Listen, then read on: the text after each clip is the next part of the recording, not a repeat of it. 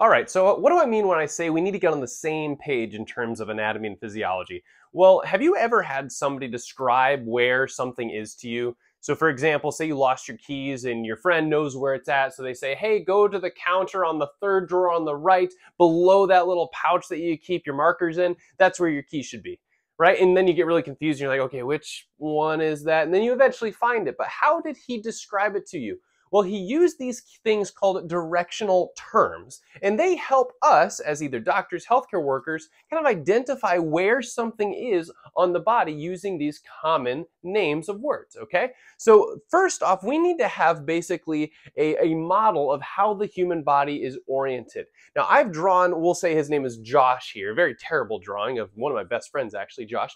Um, he's not bald. Um, but anyway, he's facing forward, as you can see. His palms are out and his feet are shoulder width apart facing forward. We call this something called anatomical position. Anatomical position because we're going to pretend, or not pretend, we're actually going to describe the human body based on this positioning of the body, okay? So all these directional terms are going to assume that the person is standing up straight, shoulders back, feet pointed forward, palms outward. Remember, palms are outward. That's going to be kind of interesting here in a little bit. So let's start with the first directional term, and we're going to get a little practice here real quick. The first one's going to be called superior. And the antithesis, try that again. the first term is going to be called superior. So superior, you can remember, is uh, as if you're feeling superior to somebody. You feel above them. Okay, so anytime we're talking about something that's this direction in the human body, we're going to say that that will be superior. Now, we also need to have a term on how we describe things lower than a certain place, and that's going to be the opposite term, inferior, which you've probably heard if you feel inferior to somebody, you feel below them, and that's the case. So anytime we move downward, we're going to talk about inferior. Now, generally when we use these terms, we're relating one thing, it's like one part of the body, to another thing, right? Remember when I gave that example of like, oh, the, the counter that's second drawer below the top drawer, right? You're referencing it in uh, comparison to something else. So if I were to take, say, the knee and the foot, right? What could we say? Well, we could say the knee is more what than the feet in terms of superior inferior, we know the knee is more superior than the feet. Does that kind of make sense? So the knee is more superior than the feet. Easy, right? Now let's move on to the other four. By the way, you can actually remember SAMPS because that's going to be the first word of each of the pairs. So the next one is going to be anterior and posterior. Anterior and posterior. Now this one, it just means front versus back. So if we're talking about something that's more frontward in your body, we're going to say it is anterior. It's kind of hard to draw, but I'm going to draw kind of an arrow going this way. This is going to be anterior, whereas if you're talking about sort of towards the back side, we're going to have that be posterior, okay? Now you may also hear the terms ventral and dorsal. Ventral means anterior, dorsal means posterior. Great. So we could say if you had the belly button, the umbilical region right here, and we were comparing it to the vertebrae in the back, we could say that the umbilical region is more anterior and the uh, vertebrae is more posterior, right? Kind of makes sense. Okay, very cool. We'll move on. Three more. We've got medial versus lateral medial versus lateral. What does that mean? Well, medial kind of sounds like the word middle, right? And medial means towards the midline, and lateral means away from the midline. So pretend if I were to cut Josh right in half here, that would be his midline. Anything that is going towards that midline is going to be considered medial. Anything moving away is going to be called lateral, okay? Which you've probably heard of like if you make a lateral movement, you go outward, right? Medial, middle. Very good. Now, let's use another practice here. Uh, let's have the, um, uh, we'll say the uh, mouth is more what to the, we'll say ear. So the mouth is blank to the ear. What would you fill in in terms of medial or lateral? Pretty easy one. You guys are probably like, this is so easy, right? Well, we know that the mouth is going to be more medial to the ear, right? Medial to the ear because it's more towards the midline. Whereas the ear, we could say, would be a little more lateral, right? Because the ear is more on the outside. Very good. Okay, now Josh is an elf. Brilliant. He needs a little hat. Oh, I'll get that later. Okay, moving on. Two more. We've got proximal and then we've got distal.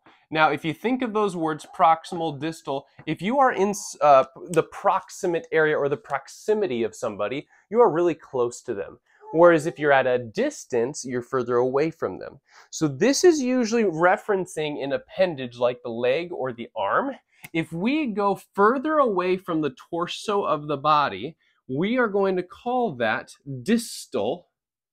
And if we're going closer to the torso or the attachment point, we are going to call that proximal. Okay? So we could say, for example, that the carpals, the wrist bones, are more distal to the elbow. Okay, the elbow would be more proximal. Make sense? Last one, we've got superficial versus deep.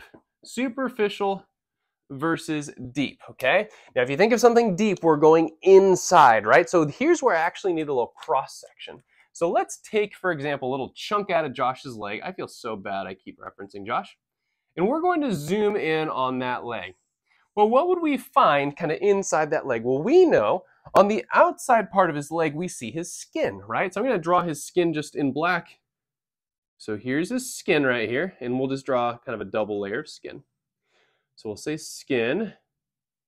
Then inwardly, right underneath the skin, you would actually find things called connective tissue. So you'd see kind of these fibers connecting the skin to underlying structures. So we'll say this is connective tissue. We'll talk about tissue here in a little bit. Connective tissue.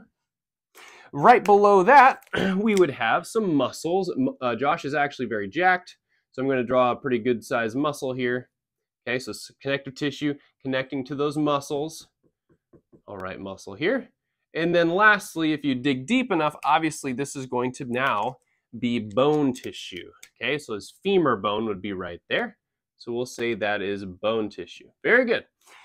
Now, why did I just cut Josh apart? Well, we need to know that superficial means towards the surface. Okay, so remember superficial surface, and what do you usually find there? Skin. So a lot of S's there. So the further outward you go, we are going to have it be more superficial. Now, you could probably guess if we go inward, we're going to go deep. Okay, and you kind of know that. If you know a person that's very superficial, they're very much towards the outside, right? Whereas deep, you're getting a little deeper inward. Very good.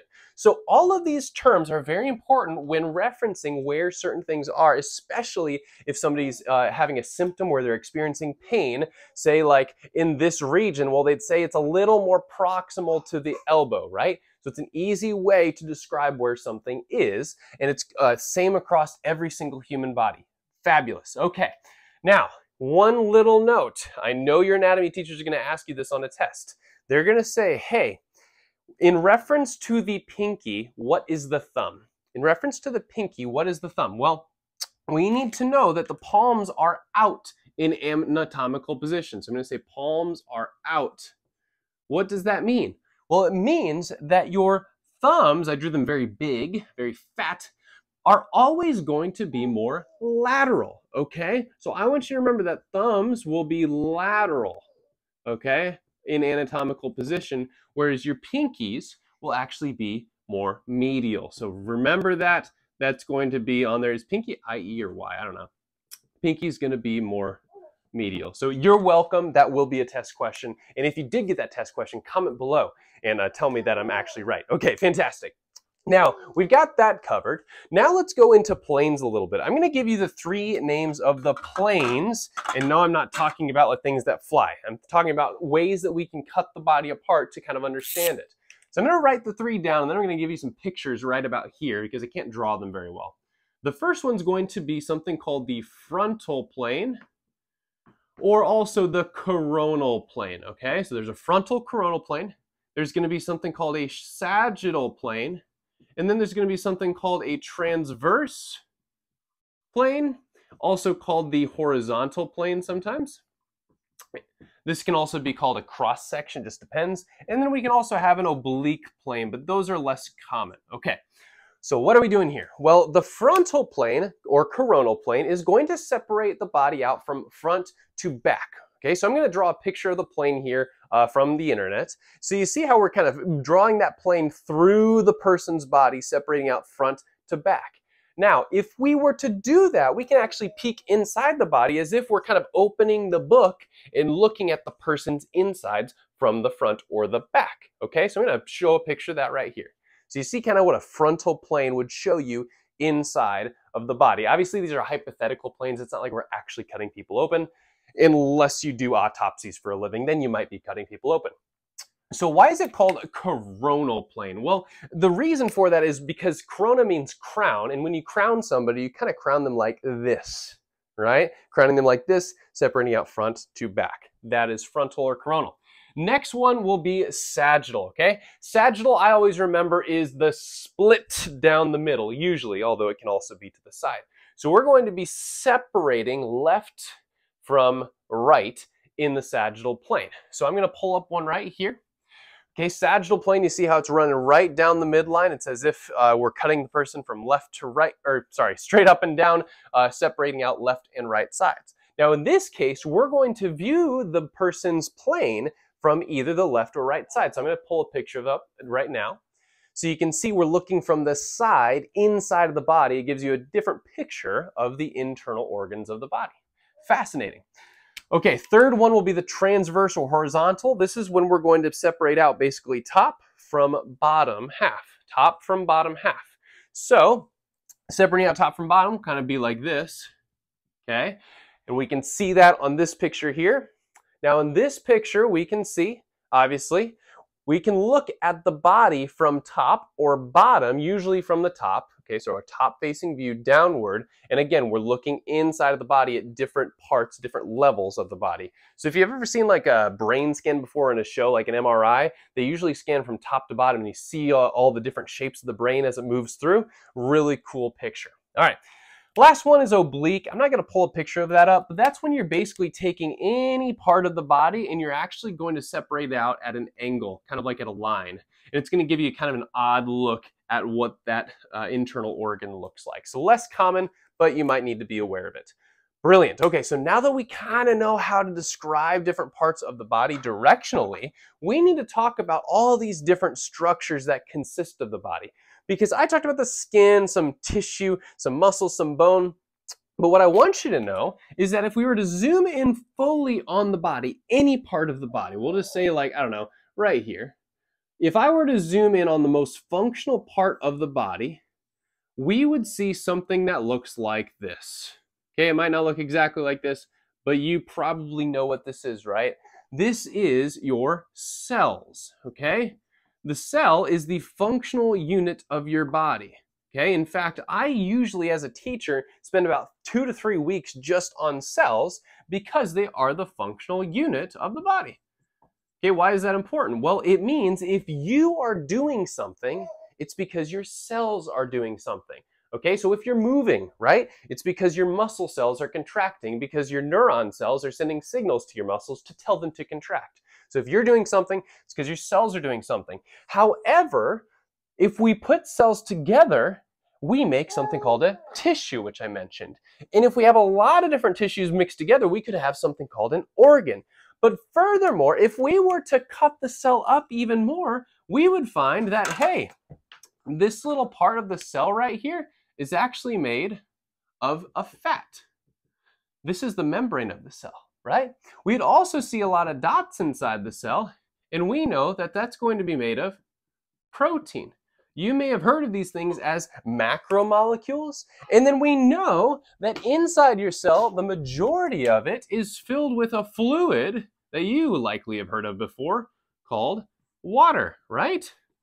So, how are we going to understand everything? Well, we need to know what the heck these are, which are atoms forming molecules, molecules forming macromolecules, and then macromolecules forming cells, tissues, and organs, levels of organization. So, we're going to briefly go through that and discuss how in ANP1 we're going to learn about these things, but then also apply it to all the different organ systems.